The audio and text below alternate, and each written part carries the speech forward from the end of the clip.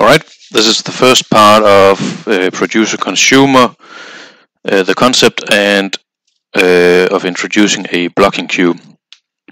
So in the first part we will introduce the concept. This is where um, multiple threads want to work together to uh, complete some task or something along those lines. So in the producer consumer setup we have uh, threads, producer threads. They produce the um, tasks, right? They produce tasks, and we have consumer consumer threads which uh, take tasks and perform them or calculate them or compute them, whatever we need to do with these ta tasks. So we have these two types of threads, and they um, sort of work together to achieve this goal. Uh, one of the examples uh, is this thing called folding at home. It's about um, calculating how to fold protein. So you can have a string of protein, and protein is made of, uh, I think, of acids of A, G, H, and T, or something like that, and they can be stringed together, and then they can somehow a fold in it on itself.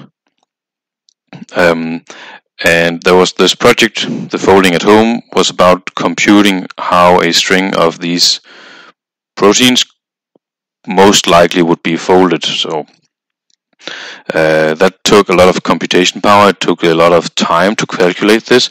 So the idea was that there was some kind of central server somewhere which would produce these folding problems and then you could uh, download a program on your PlayStation 3 which would um, when you didn't use the PlayStation it would uh, then sort of provide its CPU to um, to this project here.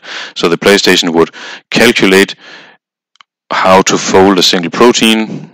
So it would retrieve the task from this server. It would fold the protein and then send the result back so uh, something along this, right? You have a central server somewhere which produced the proteins, the tasks.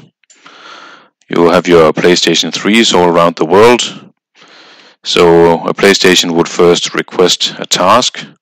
The server would send the task back to your PlayStation. Your PlayStation would do this computation here, how to fold the protein, and it would then send the result back to the server again. Um, so we have here one kind of thread that produces protein folding tasks, and we have the other threads here, one of each on each PlayStation 3 that would uh, consume a task and perform it. Right. Um, so that's the the first part of the concept, the idea.